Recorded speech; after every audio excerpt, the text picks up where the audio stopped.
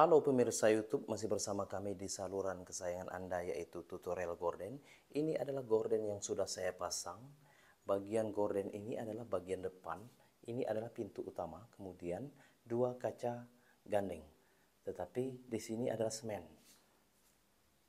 Saya pull bahan dibuat menjadi gorden yang cantik seperti ini. Kemudian saya akan membuka pintu utama. Oke, begini hasilnya. Gorden blackout minimalis yang sudah saya pasang warna abu tua ya. Oke Anda bisa melihatnya. Silakan contoh di rumah Anda sendiri. Oke kemudian ini adalah bagian pintu kiri dan kanan atau pintu gandeng.